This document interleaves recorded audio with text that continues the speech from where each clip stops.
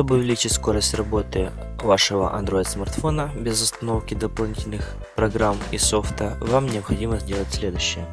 Заходим в меню, далее настройки, э, вкладка все настройки, опускаемся вниз, нажимаем о телефоне и э, далее 5 раз нам необходимо нажать на номер сборки. Тем самым мы вызовем скрытые э, функции для разработчиков.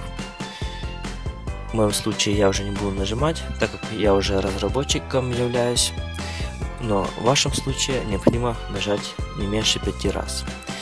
Э, далее нажимаем назад. У вас появляется вот такое меню для разработчиков.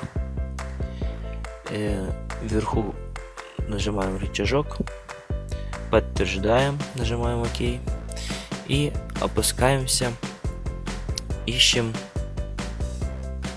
окно масштаб. Э, мы должны нажать отключить анимацию.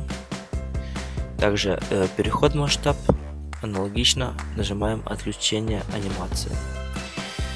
И третье, что нам необходимо сделать, это скорость анимации также отключить без анимации. Все, э, теперь э, смартфон начал шустрее работать. Всем спасибо за просмотр. Если вам это видео понравилось, ставьте лайк, подписывайтесь на мой канал. До скорых встреч!